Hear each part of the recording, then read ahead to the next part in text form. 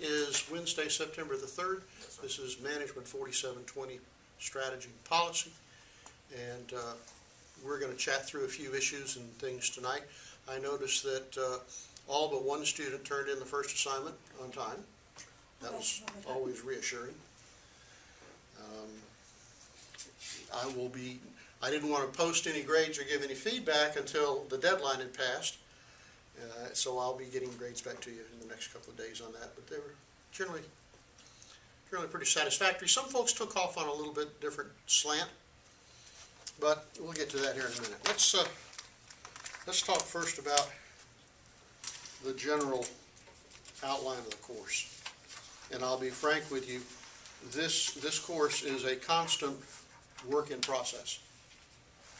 Um, I am tasking you with using the textbook so that you can see what traditional approaches are taken to strategy.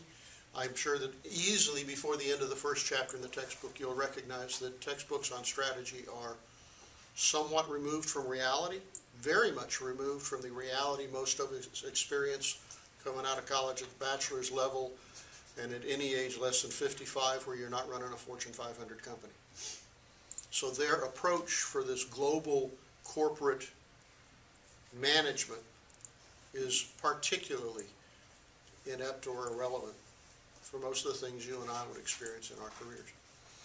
Uh, Given that, I still am going to ask you to go through a few chapters, but I am going to weigh that part of the the course very lightly. I just want you exposed to it.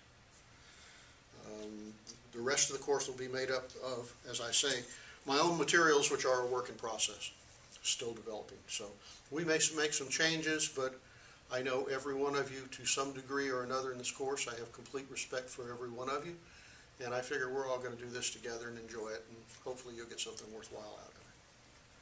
So, where to begin? Hmm.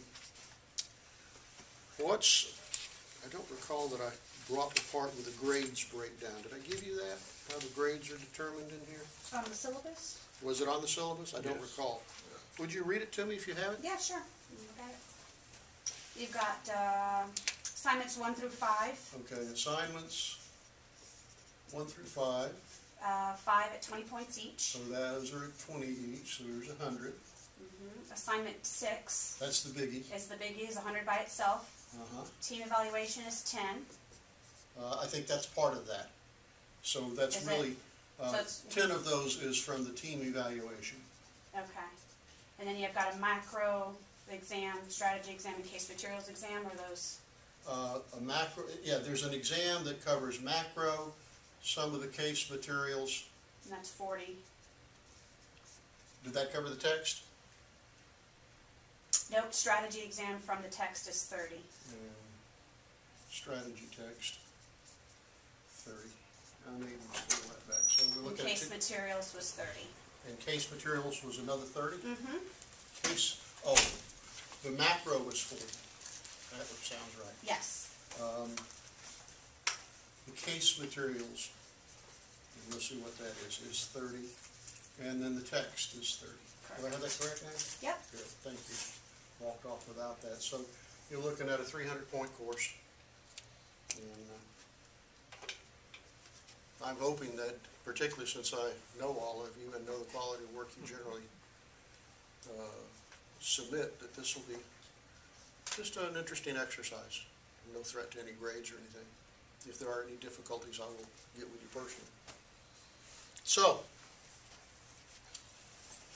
in addition to the assignments, there are readings. Some of the readings are in macroeconomics. I, I throw macro into this course because it's not required as part of the curriculum in this degree. And yet, I believe firmly, and of course I'm biased, having taught it for the last 34 years, that macroeconomics is a big part of understanding what's going on around us and making better decisions in that environment. So we're going to hit the high points in macroeconomics. In fact, we'll start some of that tonight. In addition, there are various readings. There were three of them assigned for tonight. Uh, One called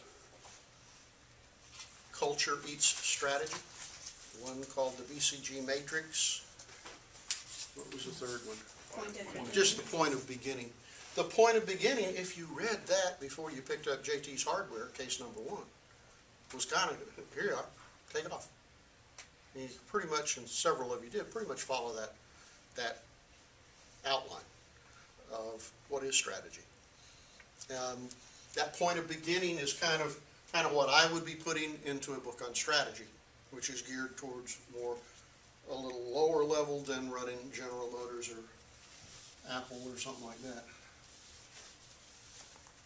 That makes it a hell of a lot more interesting in my mind too. So where to start? Let's, uh, open it up first. You got any kind of questions, issues, observations, attitude, expression? Complaints? Oh, I listen to complaints regularly. Confessions? Confessions are always interesting. I have one. Yes, ma'am. I came to class last week, but it was the wrong one. You came to class last week, but it was the wrong one. Well, that, that will be deducted from your overall score. I came real close to doing the same thing, I have to confess. Okay. We do not meet every other Wednesday. It's a somewhat irregular schedule. Check the dates carefully. I think we only have about five meetings scheduled. And if you find that you would like to get together one or two times more than that, we'll probably select a Monday evening or a Tuesday evening, find ourselves a room and sit down, if you want to do that. If, on the other hand, you thought we could meet together effectively over a beer, that too is acceptable in my mind, you know? So, anytime you want to do that. All right, any other issues? Mechanics of the course, administration? Issues with the program? I'm going to ask you at the end of this term, if you will, but it's not required, to give me a, a sort of a synopsis and evaluation of your experience in the organizational management program. The goods and the bads and the uglies. And I will, I will make you the promise, the vow, that it will remain confidential, but I am interested in how this program is running, where the weak spots are, because I too have identified a few that I'm going to try to attack. In fact, we're having a faculty meeting um, Wednesday, the 17th, and I am the featured speaker. Mr. Fitzgerald spoke last time about generating class involvement. I think he's kind of the guy to do that. I'm going to speak in terms of uh, what we're trying to do with this program and the way we're going about doing it, somewhat akin to strategy. Do they offer any training in how to maneuver through Canvas to the professors? Or is it kind of like us, we have to learn how to navigate Which prompts me to ask you, why would you ask that question? Because there's just so many. I've, I'm graduating this semester as well, and I've been here for two years, and every single professor does things differently. They set the tabs up on the left differently. If they don't put the discussions tab there, you have to find a backdoor way to see if anybody's responded to you. It doesn't always come up on the main page when you log mm-hmm. in. And so I had a class over the summer where the professor had given everybody, when, you know, in some of the cases you can look and see what the grades were, an average and a mean for the whole class, and everybody had C's in participation, including myself. And I was like, you know, I've never gotten a C in participation. And I asked why, and he said, well, not, not everybody responded to at least two posts. And I said, well, you didn't put that in the syllabus, number one. Number two, we can't see whether the discussion posts are there. And I had asked him, put, put the discussion tab on the left-hand side so that we can easily go through that and it will give you the whole list of discussions and you can see easily two out of five haven't been read, five out of ten haven't been read. You know, it's, it's pretty easy once you get there. I agree, standardizing the way Yeah. they set up Canvas would be uh, very helpful. Um, I'm gonna jump to the quick aside Yeah. and let that go by for half a second. Assignment number six, the one hundred point case, is for you to build a strategic plan for the organizational management program here at Santa Fe. Oh, that's exciting. Now, when you do that, it'll be like many other plans, you have to do it within the existing umbrella that we operate in here at Santa Fe College, which includes some internal constraints and some external constraints. But I will, I will be candid with you in my observations of the way some things go on out here at Santa Fe and, and in, in part how they impact the OM program. One of the things that goes on in this place, and, and now you may hear my military mind coming through, is we have a whole bunch of people running around out here out of step. We have, we have a complete absence of requiring the faculty to learn to do something properly.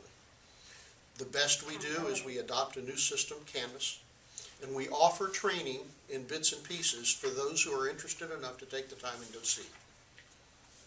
There is no requirement for standardization, there is no requirement for competence, and so you have a whole lot of reinventing the wheel by the faculty, each of them on their own with their own Canvas page or site or shell. I think that's inexcusable in my mind. Here we go. It'd be real clear. The faculty, you will come in and spend one day learning how to set up your shells according to a reasonably standard format. And if you fail to show, you will either be penalized or just, uh, I don't know, asked to leave. The, the burden of that lack of structure at Santa Fe falls entirely upon you, but it's also frustrating to us because if you don't take the time to go over there and learn stuff, you miss out on many of the things you can do with Canvas. And frankly, I'm guilty of that too. I learned enough to where I thought the course would work comfortably. But I'm sure there are a great many other things I could use on Canvas. But to try to go over there and get We're it using the piecemeal. collaborations now, and that's great. We used it in the class, Chris and I, last semester, and that works great, because everybody has access to it pretty much anywhere you have Now, access to Canvas. Did Jamie get the one set up for this Yes, course? yes, Is she that working? did. Is everybody else on that collaboration? I know I put all I, the names in. I signed up for it, and this is actually, I'm in the last term, and this is the first time I've used. it. Yeah, I saw her make exposed to changes using to the that. First- document this morning, and she had added another name to somebody. Mil- Uh, Mike? Uh, Milton? Yes, That's that's, Milton. Oh, okay, so she added, she added you to Okay. that this morning, so I think there's seven of us on There's thirteen in the class. that, right? And I put down every name I had at the time. I think, uh, I've added one more on my own, Mike Chartier. Oh, did he, did he enroll? Yeah, he, he, he- he took it incomplete. He had a lot, had- Um, his wife had a baby last term. Yes, He had a lot going on, so I said, Mike, just set it down and come back next come term. back, okay. So hopefully we'll see him here in the evening meetings. You know, he's our student body president as well. But if there are only seven of you so far in that group, I'm gonna go back and make sure all the names are in it. And I would encourage all of you to join that Yeah, uh, it works collaboration really and well. see how it works. I did not know about collaboration until two weeks ago. Never heard of it. It's all new to me, so. Yeah, It's new to me too, and this is I'll be my learning last, the Google this deal at was the my same last time. semester. Yeah. so- Interesting. This first time I Interestingly- clicked on it was right now, so, yeah. good it, deal. it, it's the way a lot of business works these days, you know, using Google Docs. Yep, and team projects, et cetera. So, to respond to your question, I don't remember exactly how you said it, but, uh, they do offer it, it's just voluntary, and, uh, they offer training, but it's, yeah, it's it's, it's, voluntary. it's voluntary, and at the same time, whatever training they offer, you're allowed to just take home and develop it as you wish, not according to any standardized No rubric. format, no rubric, yes. Roger that.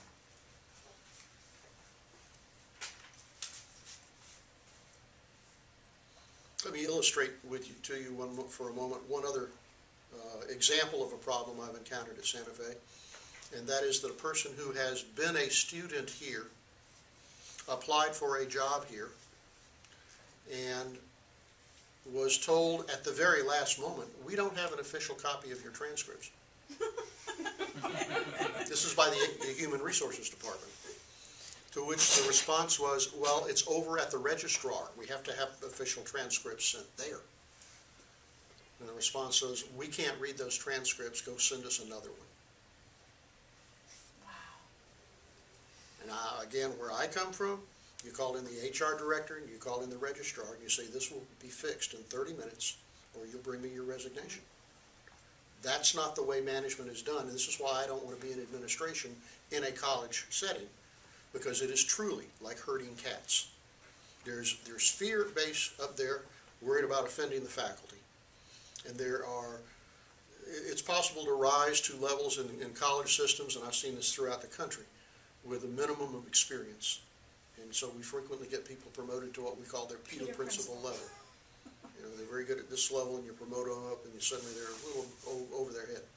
So that's the sort of environment you may have to uh, consider in case number six, developing the strategy for this program. Now, that said, that will be done on a team basis.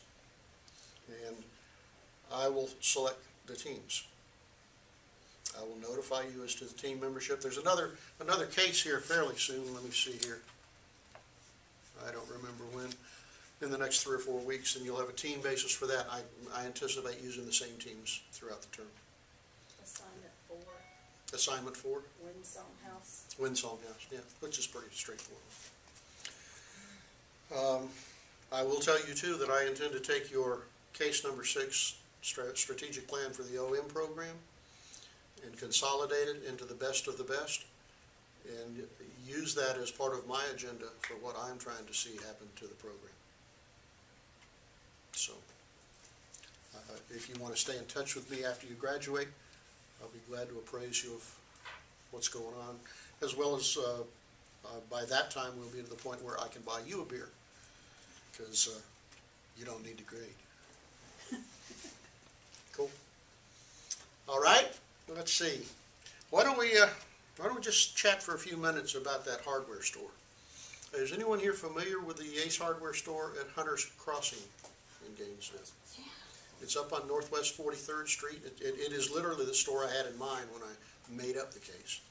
But a, uh, a comparative store is down on Newberry Road, down just kind of across the street and down from the Royal Park Plaza, where the theaters are, and the little Oh, Ace Hardware yeah. store. Yeah. And if you walk through either one of those stores, and, and uh, is anyone, Milton, you probably remember, do you remember George's Hardware? Yes. Out there on Newberry Road at thirty-four? Yeah. It was, that place started up about nineteen sixty-eight, when I was a freshman, sophomore, junior in college. And it was, a George's Hardware, I don't think it was any bigger than this classroom. And I've never understood how anybody got that much stuff in that little bit of space. And you could go in there, and it was, it was like a whole trip. You could just go in there and spend an hour looking around. Nothing in mind to buy, just, damn, how about that? These hard, these Ace Hardware stores obviously follow a corporate floor plan. They are laid out much more neatly and not nearly so compressed, et cetera. And I, my impression is they are well-stocked, well-managed, and the people that I work with, inevitably, almost consistently anyway, are very well trained, very knowledgeable, very helpful. Um, It just occurred to me that as a small business approach to things, that kind of hardware store would offer a lot of things to talk about. So I asked you about your top five questions you would pose if you were going to have your first sit-down meeting with the seven employees of the store, and let's see, who else was coming to that? Anybody? The accountant. The accountant. And what do we know about accountants? Anybody an accountant here before they speak up? I'm just, I'm just gonna make the blanket statement about most accountants. Their world revolves around statements, numbers, concepts, and is not terribly strong into the interrelationship, personal side of business operations. Some are very adept at that, most not so much. And I think that's why many people are drawn into accounting is they enjoy working objective, objectively with data. And this is the way it's gotta be, and this is the right way it's gotta be, and they're very comfortable in that environment. And if you recall from the management course, do you recall what kind of personality style that is? A, I think. D-I-S-C? Oh, uh, Was it a C? C. Highly analytical, detail-driven, meticulous attention to detail. And not all by any stretch, but a number of people who have a high C element in their, in their personality makeup are not necessarily drawn towards social interaction and, and interrelationships, conversations, etc. They don't necessarily read people very well. And so if the accountant is there, perhaps you would want to have him speak first. Because he will have the objective measurements of what he sees in his reports. And he may well, she, may well have some very insightful advice on, I see from these numbers, here's a problem or here's an opportunity. That's great. But, and this is a bias because I'm not a C, not, not a very high C, that's only scratching the surface of what's going on and what could go on. And that kind of leads me into the idea of that article, Culture Eats Strategy. What was the point of that article? Anybody? how people, how the different personalities interact and, and, and can affect the morale, if for just one example. Um, And can in turn affect efficiencies Yeah. and, um, the big picture. I would say it this way, and I've, I've made this, I've started making this point more, I may not, may not have been using it when you were in the management course. There's what you do, and that's terribly important, what you do and how you, and, and what can you do. But how you go about doing that is really gonna be the determining factor of whether you're effective. When you're working with people, simply having knowledge is not sufficient.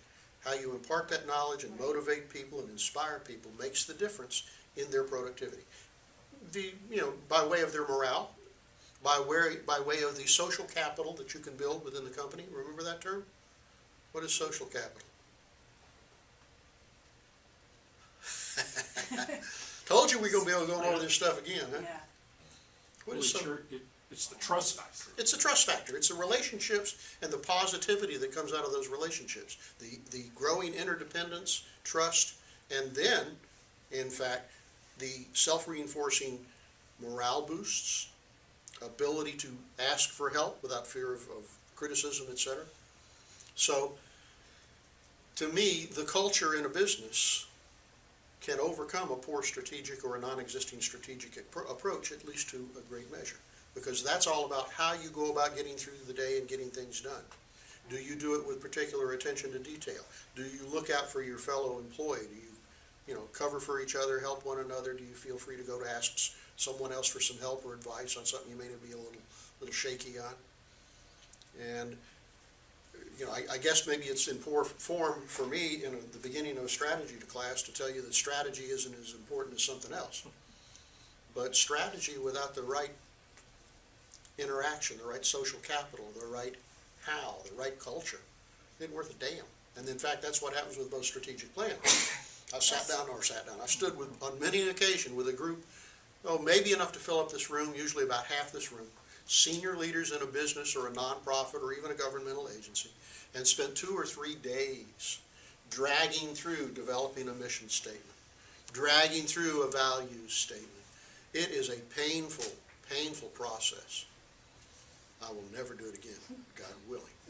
But you finally, after maybe two or three days, you build the mission statement, the value statement, and you set up a system of procedures or, or uh, way, waypoints that you're gonna work through and achieve this magic strategic goal. And you get it all written down, and then what happens to it? We put it in a notebook, put it on the shelf, and we go on the way, way we've always done things. Strategic planning isn't worth a damn in that regard.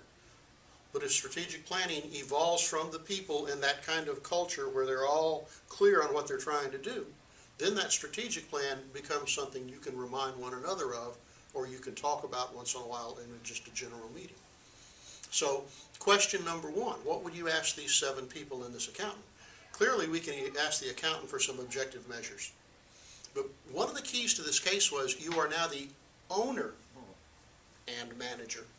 Why is that different than just being the manager? It's your money. It's your money, it's your time, it's your life, it's your investment. And you're responsible for all the employees' livelihoods too. If you have any moral fiber at all. Yeah, Oh, yeah, assuming that, And let's, yes. let's recognize some of that Yeah. is non-existent out there too. This is true. There's definitely owners and managers that don't Yes, take that responsibility. Yes. yes. There are a lot of small business owners whose only ethical thinking is how can I get every dollar possible into my pocket? And they will occasionally make overtures or mm-hmm. gestures in some way towards their employees, but they're typically very thin, not long-lasting, and not well thought out, and subject to change. Well, I've been, they, just recently, you know, been appointed to a, to a team, and I work for county government, uh, Lottrell County. And one of our, one of the walls we're running against, we- we're appointed to this team, members by the county manager, so we have the manager's blessing. But one of the walls we're running against on Hi. Come on in. developing true career development opportunities and opportunities for. That's your mission, folks. It's not, right, it's our mission, you know, the whole leaders of tomorrow, we don't Mm. calling it that, but developing Mm-hmm. employees to be in position to compete Mm-hmm. for vacancies as they're coming, and we're facing a lot of retirements, not only in top level management, but in mid-level. Wow. So it's not specific, it's not succession planning as you can't tap someone, but you could certainly de- help people But that are takes interested time and if have someone's gonna be initiative Retiring in a to year. develop so that you don't, you know. This is, this is a in great it. example of strategic And- thinking. Right, and the wall we're running against is some of the leadership, which means department heads. Mm-hmm. have flat out said, well, if employees want to, you know, learn and advance and build skills, they can do that, it's all fine, but it's not my job to help. It's not my job to help my employees Here they build are, skills. department level management team going, well, it's not my job. Okay, um, you know, and that is just incredibly disheartening in an organization. Yep. I agree, Because but where does as- that start? As a lower level manager, You feel I, abandoned? I, right, and I've always took it, why else, am- why else am I here? If, if part of, the biggest part of what I get satisfaction for in my job, besides the public service part, is enabling those who I have an influence on, you know, in the, you know, their subordinates, giving them an opportunity to advance and to grow. And And I, I, somebody who started out as an inspector under me as a city manager. You know, way surpassed my level of, look at your perspective as a manager and, and the- the Right. humanitarian view there, if you Right. will, in, you know, putting great value in seeing people advance and improve their lives. right. Where do we teach that? And as an organization, you know, it's like, well, that is what, that's part of what we invest in is people. Well, no, we just here to get the job done. My first thought when you were laying that out is that when you have these departmental managers with that cavalier attitude, where does that come from and why does that remain? Right at the top. That your and my job as the top person in any organization is to set the tone of the culture, to lay down the general rules and mores of what we're gonna operate on. So which kind of, I'm gonna use that to lead back into the first question on this case. What's, a- absent the uh, accountant and his objective measure of things, what's the first thing that perhaps should come to mind? And for me, it's the determination of values. What is of value? What is important in this organization? For you individually and us collectively. And as a manager and owner, I should have some say in that. And if I'm going to build a develop, uh, build or develop an effective organization, I've got to draw everybody in on the same playing field and working in the same direction. And if I can inform your values with my idea of the, of the future, and you agree to that, not necessarily overt, yes, that's great, but you buy into it, then we can start talking about where do we want to go. But it's, we have to be clear, all of us collectively and individually, why are we here? Why are we here? Why, we, we have this business, this hardware store, that's our vehicle. That's not our, you know, live, die, breathe it. No, why are you here? What do you really want out of your life? And how can this be a part of it? One of the things I have my economics classes do is write a choices paper about where you're you gonna be in five years. And if you can't get that straight in your mind on where you wanna be and why you wanna be there, how are you ever gonna make any progress towards getting there? So, in my view, strategy starts off with buy-in by everybody to a consistent and common set of values. So, and again, I'm just gonna, this is an opinion, okay? This is not a black and white, right or wrong answer. But in my view, if I had those seven people sitting down, I'd probably, probably invite the accountant to stay as long as he felt comfortable. But I'd wanna get to know him before he got to be too privy to this. And I'd be asking the seven people, maybe, maybe bring me a written document in a day or two and tell me what the most important things to you are about working here and about your life. And where would you like to be in a few years? If we can all buy into where we're going, then we can make a, you know, good progress on how we're gonna get there. But if we instead wade into this and say, where's our money coming from? How do we cut down expenses? We've missed the whole point. What is the deeper level motivation of those people we're working with? We have got to tap that and pull it together. Come in. It's a whole lot easier with seventy people than it would be with seven hundred. But if you had an organization of seven hundred people, what would you be doing? Do the same thing, smaller groups. Same thing in smaller groups. You can maybe start with your departmental managers or your vice presidents or whatever. But then you can tell them, you can dictate to them, this is the approach I want you to take with your people. And so maybe before you ever sit down in this meeting, you need to be clear in your own mind, what's important to you. If it's important to you to see the development of the people within the organization, and you, then you need to make that very clear to the people who work for you. And you need to reinforce that on their evaluations and in every, every instance you can, interacting with them. I think you have to, you have to have joint meetings, but you also need to talk to non-supervisory staff without supervision. Management by wandering around, Yeah, absolutely That's right, right, that's right. exactly right. I mean, if you, if you want to get to the, what they're really thinking. Mhm. And it may take a, now, this is smaller, but like in organization, it takes several meetings. Oh, absolutely. And It takes a long time manager, just for them to trust It takes a long time to, for some staff, especially with institutional history or twenty-year career, Mm-hmm. they've been burned once or twice offering their opinions, so it's gonna take some, several times So before what's, what's the a- first, A manager's gonna actually get them to trust them with an idea. how do we build trust? I mean, that was one of the questions out of the Caproni text, I don't know if you recall it. But trust is a, is a interaction between two people. It's a transaction. You're give, both giving and receiving. And how do you make any transaction work? How do you make it endure? How do you make it continue? You have got to give that person more than they think they are giving to you. That's true in a marriage, that's true in a business, that's true in anything. If I buy a lawnmower from you for hundred dollars, what is clearly evident? I value the lawnmower more than hundred dollars. What's evident on your part? You value the hundred dollars more than the lawnmower. It's very, very simple. But proving that you are giving and giving and not expecting much from them is the first step towards building that trust. There's any number of things you may be able to do. If you can get them to open up and learn a little bit about what's going on in their lives, maybe there are ways you can assist that. If you can take a look at their evaluations or their work history and have a little conversation with them about that, and in some way move some benefit in their direction. If you can prove that you are not there with an agenda to work them to death, you're not there with an ego-driven agenda because this is all about me, you can begin to foster that trust, and then you can establish those relationships and more importantly, that communication that will eventually lead to the, the, the trust you need. So for me, the, the point of the JT's hard, JT, JT's hardware case was before we can begin strategic planning, we gotta all figure out what's important to us and figure out where we wanna go.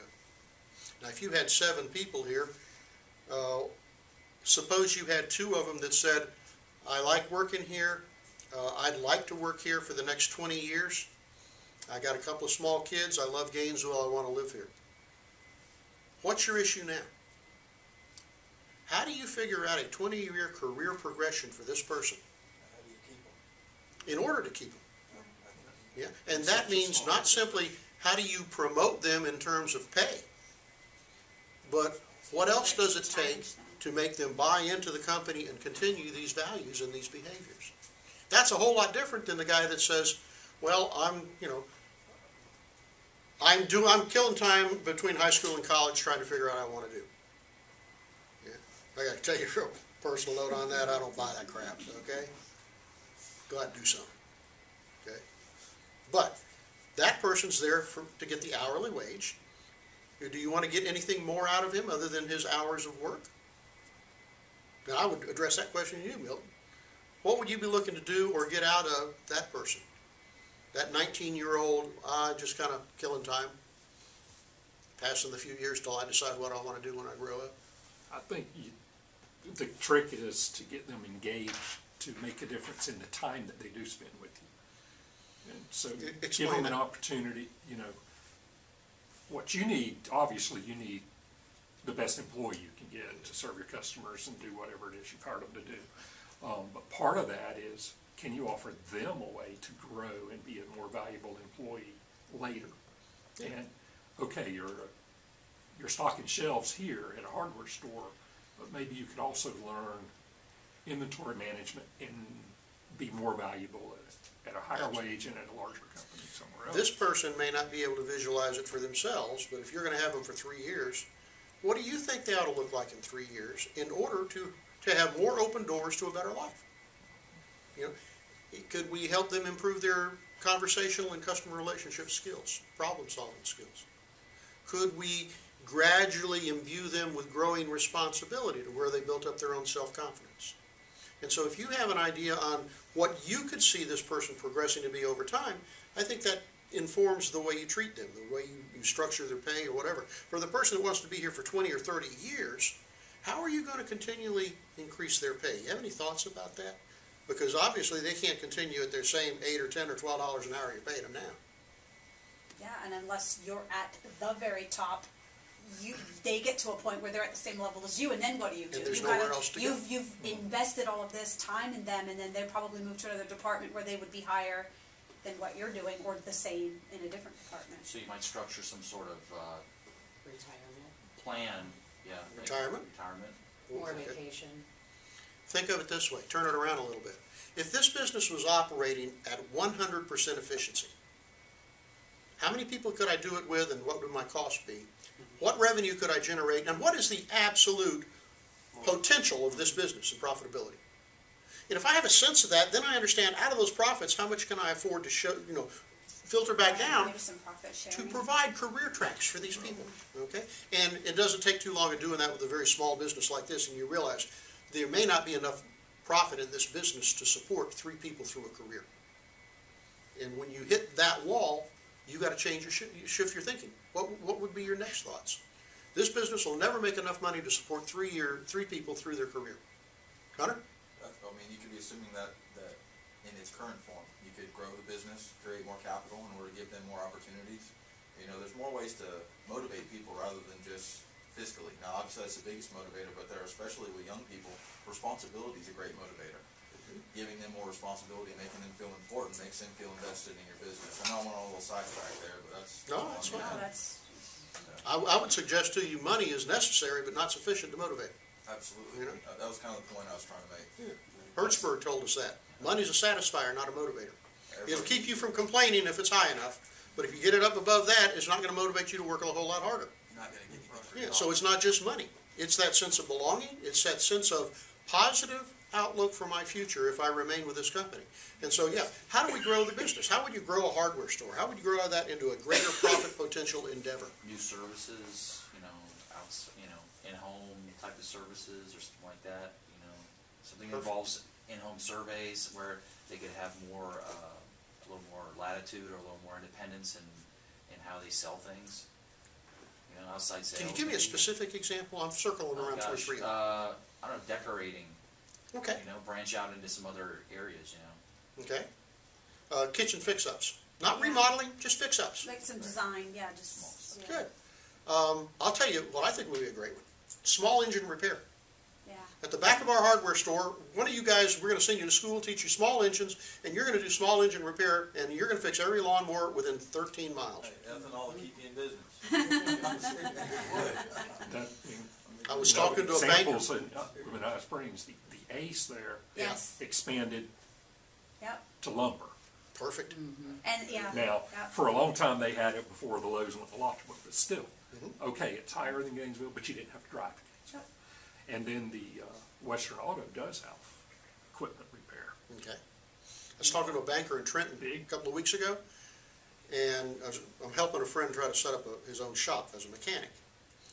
And he said, one of the things we think we can do within the first six months or a year of the business is to open up an adjacent or, you know, affiliated small engine repair. And the banker looked at him, he said, you know, we haven't had small engine repair out here for three years. You would stack them up doing that. Okay, and so you look at your people and you say, what else can y'all do?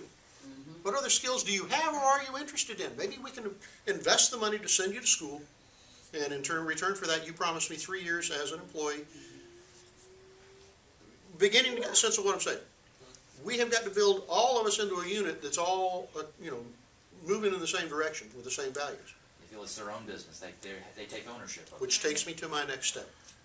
What do you think about profit sharing in a small business like? Profit sharing as opposed to, oh, hell no, or as opposed to bonuses? Or just strict profit sharing? Do you have any views on that, experiences on that, anybody? I, I do have experience in profit sharing for a small company that I worked for here in Gainesville. They've since closed, but if, you know, depending on what the revenues were, she would share. And sometimes it'd be, you know, a two thousand dollar bonus. And each of us felt responsible to do the very best every day. At least I did, and I know that the people that I worked with felt the same way. Um, and, you know, when I needed to go buy furniture and they were one of our clients, I had a two thousand dollar trade at the furniture store, so it was fantastic. Well, are you familiar with the term open book management? open book management. That's where you make your books for the company open and available to all your employees. Here's how we're doing, every day, come in and check. Or at least maybe every, every month. Here's our financial statements for the month and how we did. A lot of business owners are very uncomfortable with that, okay? Because if things do go well, they want the lion's share. And even in the normal operation, particularly of a small business like this, this is a cash-based business. There's a lot of cash coming in through the till. And I'm gonna guess that eighty percent of the business owners, and I think it's closer to ninety-nine percent, pull cash out of that till and don't report it for taxes. And so to go to open book management, you get into a lot, a lot of problems. But just to expose the term out there, open book management. But the idea of profit sharing, where you do have some control on the financial statements, and you can say every, every month, here's how we did, here's how we did, and every six months, we're gonna take a look at how much accumulated profit we got, and you're gonna get this much, or this much, or this much, maybe based on your seniority, maybe based on whatever other things are going on. So there's an alternative. And that, again, fosters buy-in. We're all on this boat together. If it starts leaking, everybody bail like hell, right? Yes, I had a situation like that, you know, where it was the bonuses versus the profit sharing. I worked for a very small company, we were actually in Alachua, and the company was doing quite well. But we got these amazing bonuses every year at Christmas. They took us on a trip and everybody got all these fancy bonuses. And for three or four years, it was always, well, we're gonna set up a profit sharing plan, we're gonna set up a profit sharing plan. never did. And it never happened. And I was on the accounting side of it, so I saw all the bills that were going out. So I had some idea of the money that was coming in. And it got to the point where you felt like they didn't, I felt like they didn't value me because it was like we keep dangling this thing thinking, okay, we're gonna do it. But in the meantime, we're gonna give you this little bit over here. And you know the two don't compare when you get down It's a to, stale donut. yeah. Which means you better start off understanding who you are, and what your values are, and don't make promises you know you're not really gonna keep. Yep. But if in fact your character is the sort that does genuinely care about your people and wants to see them progress, mm-hmm. and can stand the pain of not having every dollar of profit come out of that business into your pocket, then that open communication, it'll be hard to beat. The other thing that happens with something like that is it becomes self-policing. Somebody Yeah. starts slacking off, the other six of them are gonna say, let me talk to you. Yeah. A minute." You're affecting my bottom line now. That's right, just So exactly. that's peer intervention, that's great. Yeah. Yes, Keeps you from having to do it as the manager, that's an ideal situation. as, as long as it doesn't fester Yeah. into, Yes. you know, Yeah. tribal warfare. Say again? I said that's a manager's job, that is- or your job as the owner to make sure that that doesn't happen. Exactly. You enact profit sharing in order to get, to motivate individuals, and you start to see that little tussle, that's when you pull everybody in the room and have the, whatever you wanna call it, meeting. I didn't have a proper term in my mind. And it, it may well be in this setting, when you're just coming into a business that's what, three years old or five years old, and you really don't know how it's going, you don't even talk about profit sharing to the, for the first two, three, five years. You got your feet on the ground, you see how it's going. But is it in the back of your mind?